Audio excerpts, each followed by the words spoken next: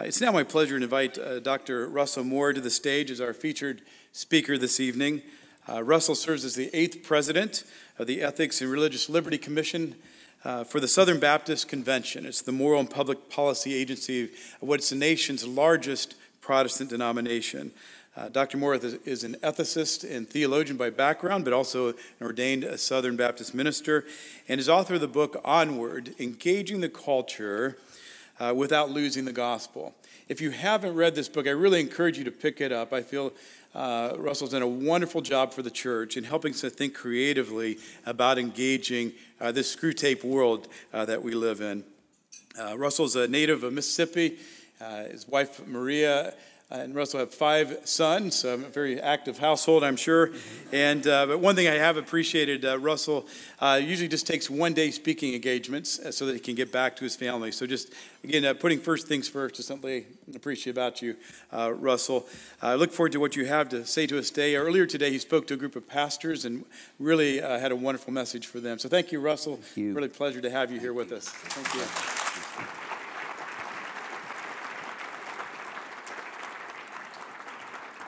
Well, thank you. It's such an honor to be here at the C.S. Lewis Institute, though I wish that you had not told me that you started years ago with John Stott and J.I. Packer.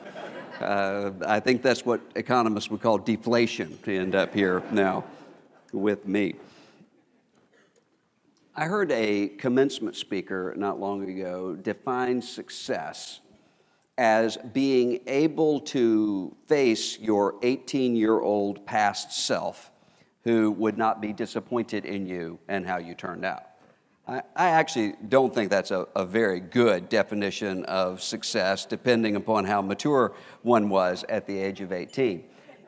But what I do know is that in my own life, I find that I define success as being able to face my 15 year old past self with gospel credibility.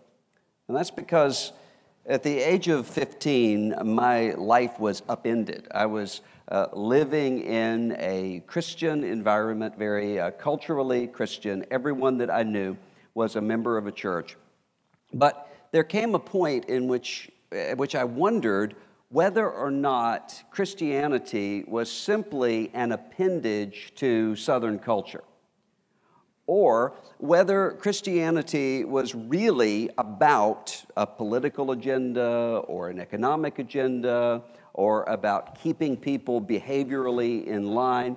And that was especially true when I would look around and see such a, a huge division between the sorts of ideals that some of the people in my culture talked about and the sorts of things that they tolerated and lived with and practiced in their own homes and in their own communities. Uh, that was especially true when, at that point in the 19, uh, late 1980s, uh, there was a, a rash of evangelical speculation about Bible prophecy, with tying biblical passages to current events. Supermarket scanners as the mark of the beast of Revelation 13, and Gog and Magog as the Soviet Union until the Soviet Union fell and then became various other nations and, and groups. But what I noticed was that when these prophecies didn't come true, the people who had been selling products arguing that these were the fulfillment of those prophecies didn't go away. They didn't apologize, they just continued on with the next prophetic fulfillment in marketing things to us. And I grew really cynical and actually became uh, depressed and alarmed. And thankfully, I had read The Lion, the Witch, and the Wardrobe as a small child, so I recognized the name C.S. Lewis on the spine of a book in a bookstore and was able to pull out Mere Christianity and was transformed by that. Richard John Neuhaus, a generation ago, talked about his conversion to Catholicism as how I became the Catholic that I was. And in many ways, I would say mere Christianity uh, enabled me to become the Baptist that I was. And the reason for that is because this long dead by then Anglican, speaking to this confused, alarmed 15 year old Southern Baptist, spoke with a kind of credibility that came with an obvious lack of regard for selling me anything. There, there was obviously in the voice of this person someone who, through the written word, was simply bearing witness to something that he had seen, that the church had carried down for 2,000 years, and it saved my life. I think there are several aspects of Lewis's ministry that are especially crucial for our day right now. I've been asked to talk about Narnian faith in a Screwtape world, and I think that is exactly the sort of situation that we find ourselves in. I'd like for us to, to think about simply two aspects of that. The first is gospel imagination. Uh, the, the situation that I was in as a 15 year old is one that Lewis well understood. Talks about this and writes about this at several places. One of the places is in the Screwtape Letters, where Lewis, speaking uh, as a, a demon in this context, says this Whatever he, the Christian who's being tempted, whatever he adopts, your main task will be the same let him begin by treating the patriotism that he holds to or the pacifism that he holds to as a part of his religion. Then let him, under the influence of partisan spirit, come to regard it as the most important part of his religion. Then quietly and gradually nurse him on to the stage at which the religion becomes merely part of the cause in which Christianity is valued chiefly because of the excellent arguments it can produce in favor of the British war effort or pacifism. And once you have made the world an end and faith a means, you have almost won your man. And it makes very little difference what kind of worldly end he is pursuing provided that meetings and pamphlets and policies and movements and causes and crusades matter more to him than prayer and sacraments and charity, he is ours. And the more religious on those terms, the more securely ours. I could show you a pretty cageful down here. This is what, in the 1920s, the Presbyterian theologian J. Gresham Machen called liberalism. Not speaking, of course, of the political categories uh, with which we often use the word, but with the idea of Christianity as a means to an end, Christianity as a tool. Lewis recognized that, and so must we. That's why I'm glad that in my own life's journey, I started with Narnia before I came to mere Christianity. I needed to find myself embedded in this story before I could really take in the arguments that Lewis was making. And as we, as we think about what Lewis was doing in the Chronicles of Narnia, it wasn't the characters there. As the other Inklings knew, Narnia really wasn't as carefully a constructed myth as, say, Middle Earth was. But my experience with Narnia was similar to that of science fiction and fantasy author uh, Nicholas Gaiman, who says this. He says, The weird things about the Narnia books for me was that they mostly seemed true. These seemed to be reports from a real place. There was a, a weightiness here, and there was, in fact, a familiarity there. That was not by accident.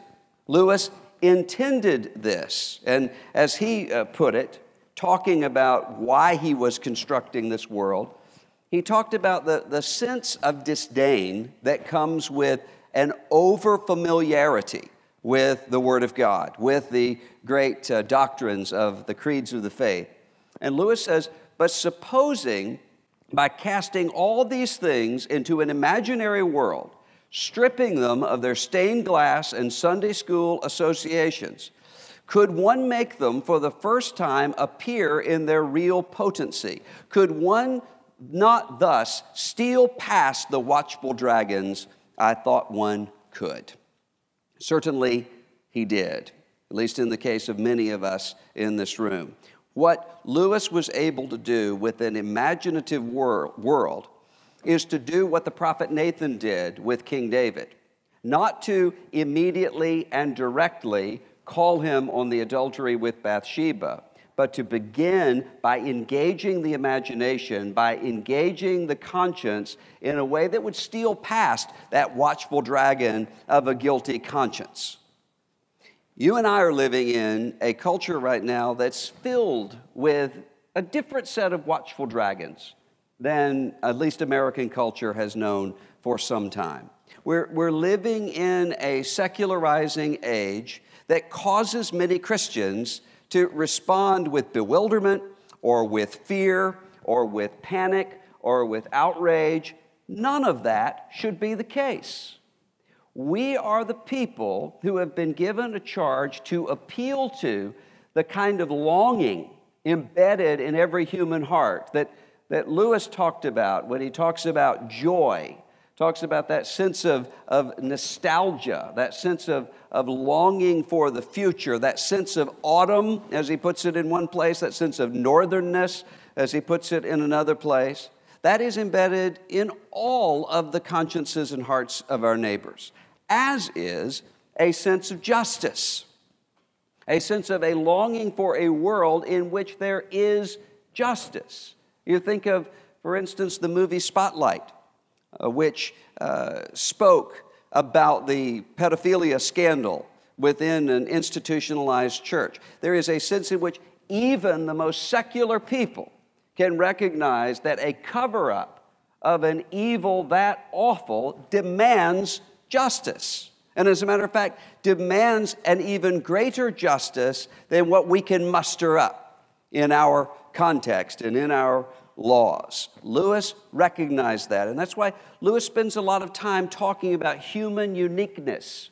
A human uniqueness that he says shows up in something as simple as ghost stories. He says we're afraid of ghost stories. We have a sense of the uncanny and of the supernatural and why? He says, Well, you might say that we dislike corpses because we're afraid of ghosts, but, he says, I think it's equally true that we fear ghosts because we dislike corpses. For the ghost owes much of its horror to the associated, associated ideas of pallor, decay, coffin, shrouds, and worms. What Lewis is getting at is exactly what the author of Hebrews is talking about in Hebrews 2, in which he talks about the slavery that comes with a fear of death. We, we see the fear of death all around us, and we see exactly what Blaise Pascal warned us of of the running toward diversions to occupy the mind from the fear of death we have an opportunity to speak to that sense of eternality, to that sense of human uniqueness in a way that the age actually demands. As Wendell Berry puts it, the fundamental issue right now is the difference between human beings living as creatures as opposed to human beings living as machines when we live in a time when artificial intelligence and transhumanism speaks of moving humanity even beyond the limits of humanity itself, and at the same time, often reducing humanity to simply data enlivening meat.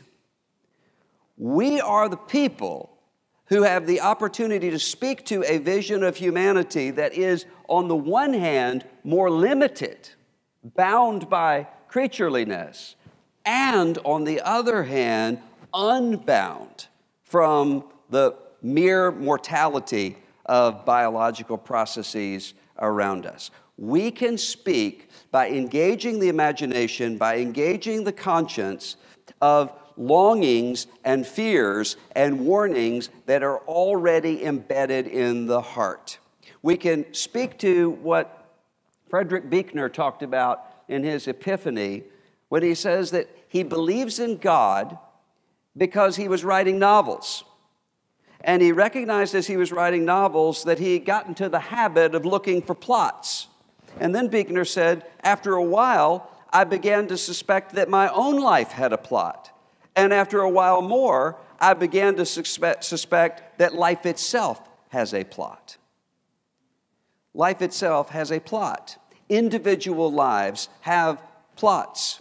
We have the ability to speak to an imagination with a Christian world that has been given to us in Holy Scripture in a way that is needed in this age. But secondly, it's not just gospel imagination, it's also spiritual warfare. Language that becomes really uncomfortable for some Christians because they assume that spiritual warfare is what is only talked about by the Pentecostal wing of the Christian church. When in reality, we are all small p Pentecostal Christians. We are the products of Pentecost, and we are all those who are called to understand the spiritual warfare around us. N.T. Wright criticizes C.S. Lewis's too Platonic, says that he doesn't emphasize the kingdom of God, and gives him a pass on that because at the middle of the 20th century, not many people were seeing and, and recognizing the kingdom of God. I disagree with N.T. Wright on this because although Lewis doesn't speak explicitly with the language of the kingdom, he hits repeatedly on the major aspects of the kingdom of God, the summing up of all things in Christ, and the ongoing warfare against the principalities and powers that shows up in the arena of history and also shows up in the arena of each human life. He's emphasizing here exactly what Christian theologians would talk about as the already and the not yet of the inbreaking of the kingdom of God. So when Lewis says enemy occupied territory, that's what this world is. He's speaking to the sense that we all must have that something has gone terribly awry. Something is wrong. He's getting at what the poet Czesław Miłosz means when he says, Whoever considers as normal the order of things in which the strong triumph and the weak fail, and life ends with death, whoever considers that normal has accepted the devil's rule. There is a sense in which, when we see the wreckage of Eden all around us, when we see the injustice and the pain all around us.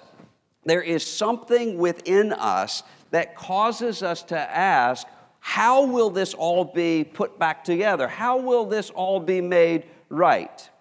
And it gives us the opportunity to return to the stone table, gives us the opportunity to speak of a sacrificial, sin bearing offering that ultimately defeats the injustice all around us and defeats the injustice within us. We, we speak of a combating of the forces around us, not with raw force, not with raw sovereignty, not with influence, the way the world defines influence, but with something else, with good news that is able to turn this back and as we speak both of the joy of the imagination fueled by the good news and of the pain and the suffering and the grief that come with living in enemy occupied territory. Our audience is not just in discipling our fellow Christians. Our audience is not just in evangelizing unbelievers around us our audience must also be future Christians to prepare them for the task of cross bearing. People who might overhear us through the witness of those who've overheard us. Names and faces that we may not even recognize or know in this life. We are speaking a word that's challenging us to go further up and further in, in a way that is challenging the next generation to answer new questions in new ways from old wells, walking in old paths. what we have to keep in mind is the kind of Christian witness that is not fearful of reputation of the world around us.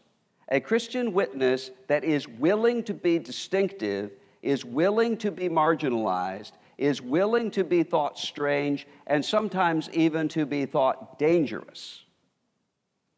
In order to speak a word to the 15 year old boys and girls who are wondering if Christianity is really just an opiate for the peoples, if Christianity really is just a tool for the politicians, or if Christianity is a word from God.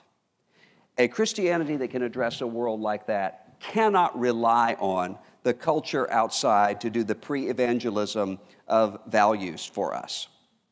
A Christianity like that cannot count on the culture around us doing the pre evangelism of making church attendance and Christian identity something that is normative. A Christianity that can address a world like that must be the kind of Christianity that recognizes enemy occupied territory, that recognizes the gradual pull of Screwtape a Christianity that also speaks to the longing of escaping from enemy occupied territory through a wardrobe into something else and something better.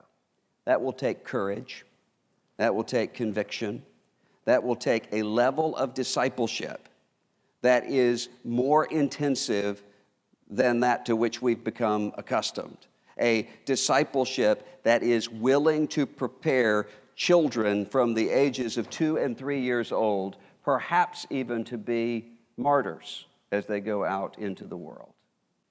But it's a Christianity that is able to speak to the heart, a Christianity that is able to speak to the mind, and a Christianity that is able to prepare Narnian Christians in a Screwtape age. Thank you.